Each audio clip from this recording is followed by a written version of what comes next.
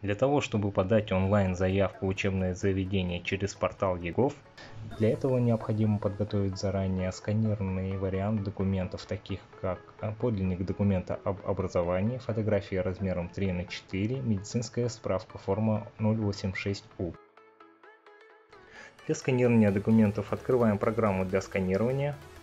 У вас она может быть своя, это определяется маркой сканирующего устройства – Выставляем качество изображения 200 dpi. Так как портал EGOV принимает документы не более 1 мегабайта, при текущих настройках вес документа не превысит установленную норму.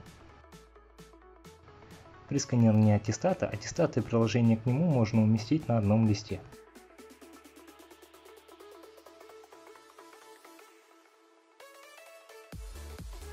При сканировании медицинской справки сканировать необходимо лицевую и обратную сторону. Две страницы данного документа должны содержаться в одном PDF-файле.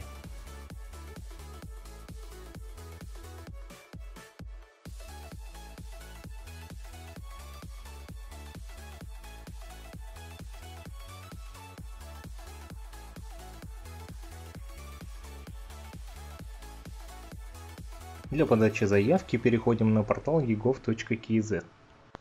Сперва необходимо войти под своей учетной записью. В правой верхней части экрана нажимаем на кнопку «Войти». Войти на портал можно шестью способами. Самые популярные это использование ЦП либо одноразовый пароль. Вводим ИИН и номер телефона.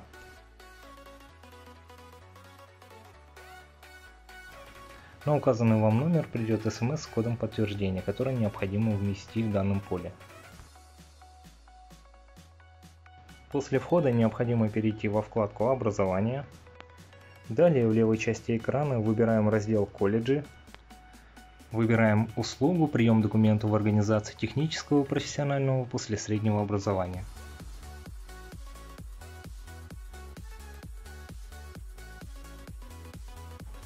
В открывшейся странице в пункте «Выберите тип заявления» выбираем прием документов типа. Контактный телефон и email заполнится автоматически. При выборе пункта «Родитель» либо «Законный представитель» отобразится список ваших детей, где вы должны выбрать поступающего. Выберем пункт «Поступающий учащийся». Далее необходимо заполнить сведения о заявителе.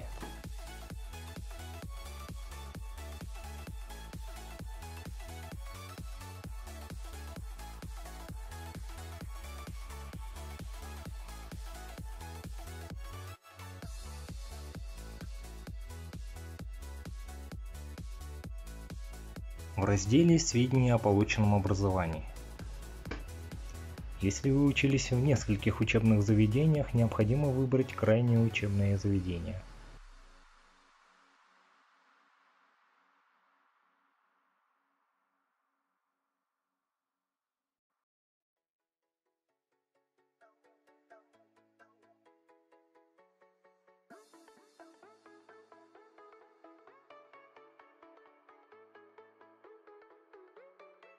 Прикрепляем ранее отсканированные документы.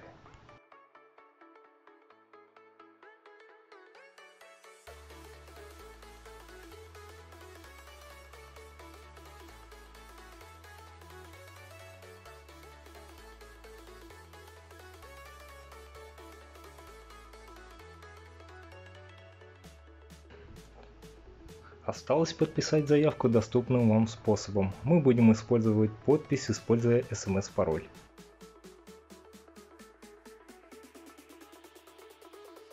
Нажимаем «Получить код» и вводим полученный в смс-сообщении код.